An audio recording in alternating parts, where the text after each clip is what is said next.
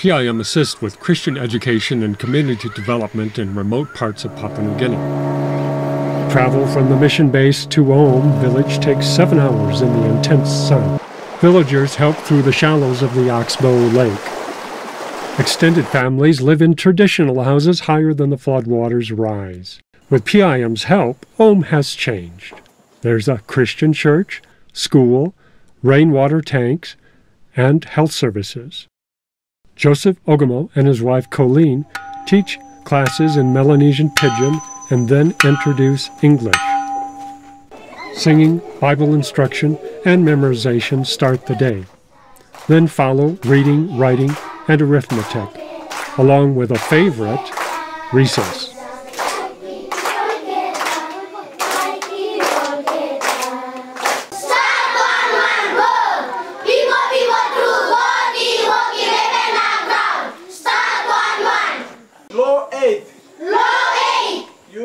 Can steal.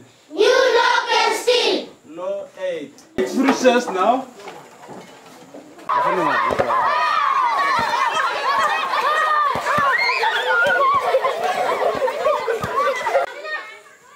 Up to 40 PIM schools operate if there's sufficient village support and mission funding.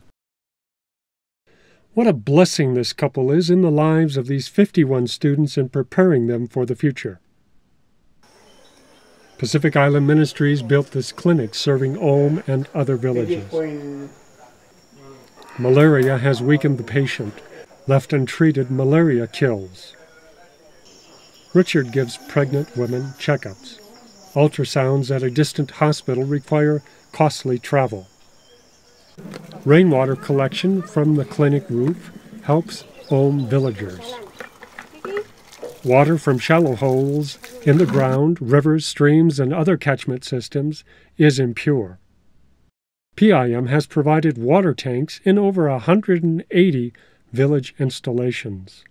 A corps of support workers aid the teachers, health workers, and others in small villages. In Ambunti, Ruben Wack is the acting field manager. Assisting him are Jacob and Clinton, both sons of pastors. David Cosson coordinates the elementary education program. Pastor David Wagri teaches pastors and marriage seminars. Mike trains Sunday school teachers and distributes materials. Marilyn prints and produces Sunday school materials. Willie communicates with mission outstations and coordinates their supply. Morning devotions at Ambunti. Visiting missionary Doug Heidema lends a helping hand. Visitor Dan Karn of Reno helps Justin with plumbing repairs. Reverend Eric Sharing and Penny working in their office. Visiting prisoners at Ambunti.